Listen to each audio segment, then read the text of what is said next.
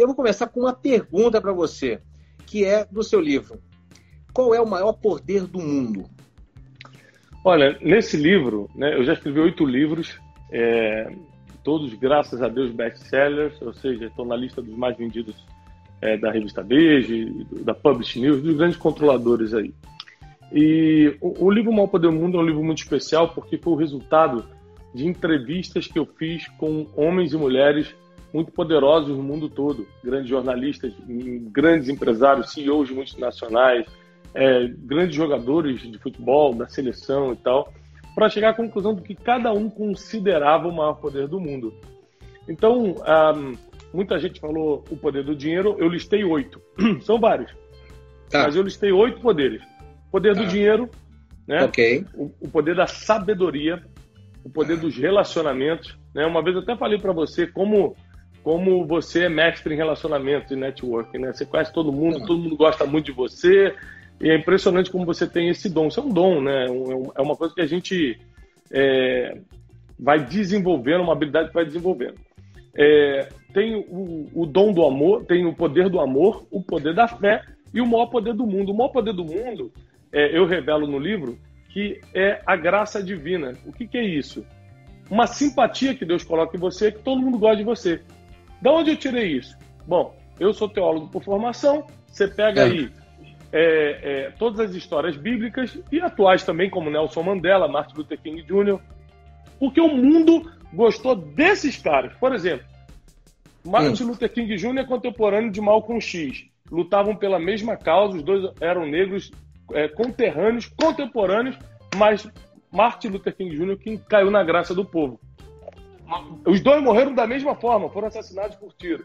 Ou seja, presta atenção, existe uma simpatia divina sobre algumas pessoas.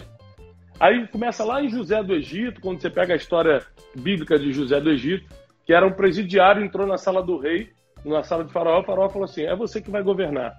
E até hoje, dias de hoje, como você vê pessoas que não eram nem as mais preparadas para estar ali, mas todo mundo gosta dela.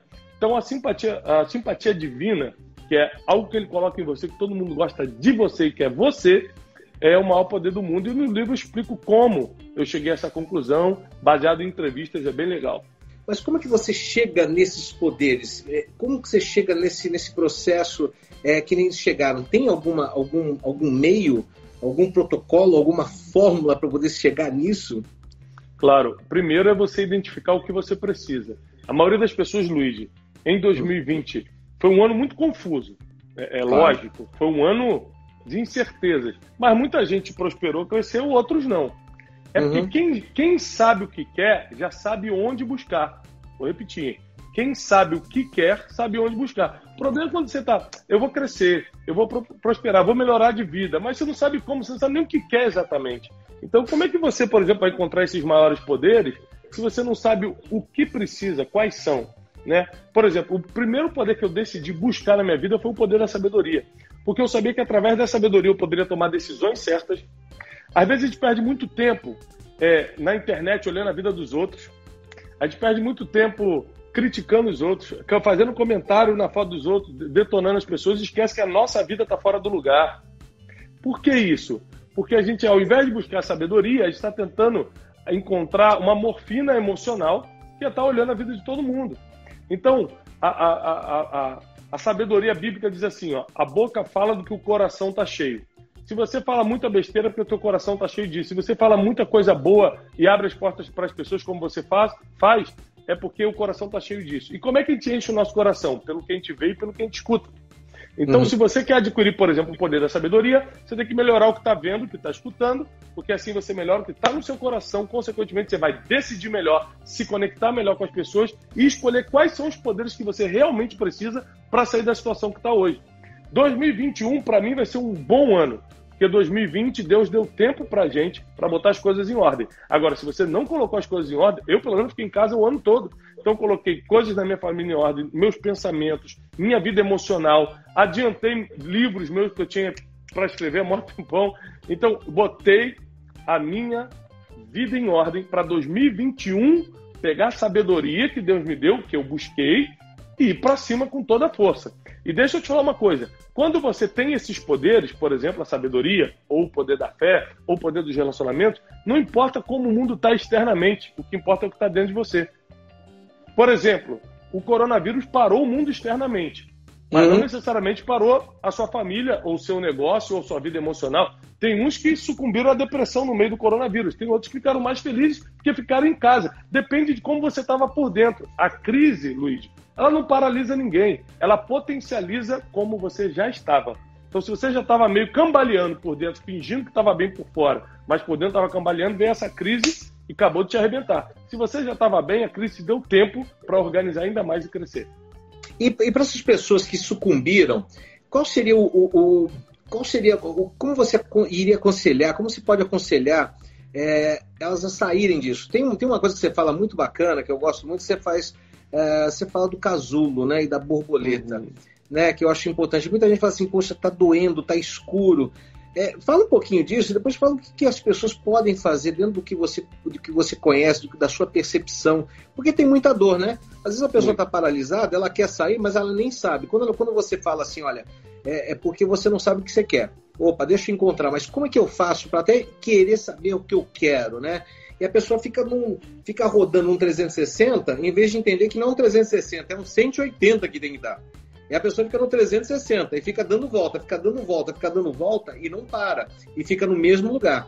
Então, para você sair do lugar, tá o 180. Fala um pouco do casulo, da história uhum. do casulo, que eu acho, acho fantástico. E para tem, tem muita gente que sabe, conhece, é gostoso ouvir o Thiago falando. Uhum. E o que, que as pessoas poderiam fazer? Qual o conselho que você dá? Primeiro, quero lembrar que a vida é difícil, tá? Tem muita gente que acha a vida é maravilhosa. Eu, graças a Deus, tenho uma vida boa, uma família que me ama, uma vida organizada. Ainda assim, acho a vida difícil. Por quê? Por causa das injustiças. Você está bem hoje, amanhã você pode cair doente. Né? Eu estou atravessando aqui é, um câncer com a minha sogra, que mora com a gente. Então, não é ah. fácil, né? Não, não é, é fácil. É, é, um, um, um, um, ano o país está equilibrado, no outro ano trava o dinheiro, trava a economia. A vida não é fácil, mas a decisão se você vai usar a dor que a vida oferece para crescer ou para sofrer é sua, é uma decisão. Então, eu conto a história da lagarta, do casulo e da borboleta, faz parte de um dos meus programas. Eu tenho muitos programas de treinamento, você sabe disso. Né? Para quem não sabe, Luiz é meu vizinho, meu amigo, né? E, e, a gente já conversou várias vezes sobre isso lá em Orlando. Eu fiz um evento chamado Transformation Day, você esteve lá com a gente, é, e onde eu explico o seguinte: a lagarta é uma criação divina, né? Pelo menos para eu que tenho a fé que Deus é o Criador, a lagarta é uma criação divina. Agora, olha só, a lagarta, mesmo sendo uma criação divina, ninguém quer pegar a lagarta na mão, ninguém quer levar a lagarta para casa, ninguém tira foto de lagarta ou pinta quadro de lagarta. Porque, apesar de ser uma criação divina, é feio, ninguém quer ficar perto, não tem serventia para o ser humano. Assim são as primeiras fases ou algumas fases da nossa vida. Gente, nós somos criaturas divinas, mas ninguém quer estar perto da gente, ninguém quer pintar um quadro da gente, ou seja, ninguém admira a gente. Por quê? Porque as pessoas só vão admirar a lagarta depois que ela virar, que ela virar borboleta. Porque não sei se vocês já pararam para pensar, a lagarta e a borboleta são a mesma pessoa em fases diferentes.